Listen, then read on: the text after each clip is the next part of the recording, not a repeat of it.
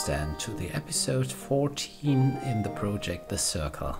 Today there is a relatively short episode of the series. This is not so much because I didn't spend much time on the project, but because I know the heck why didn't press the record button for a bigger part of the construction.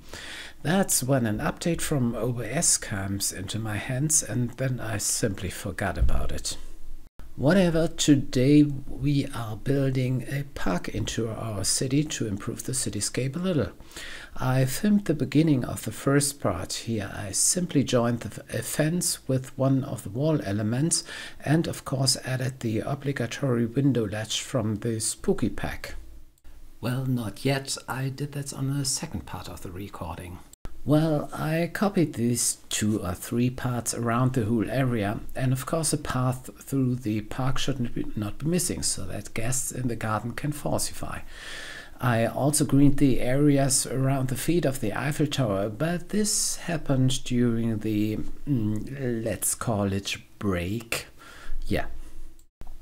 Well, the cut should be coming soon, then I show you around a bit and show you what I've done in the second construction area, the recording worked. He, there I created another park. I think it would will look quite nice if the guests who enter the park have a more open view on the Eiffel Tower.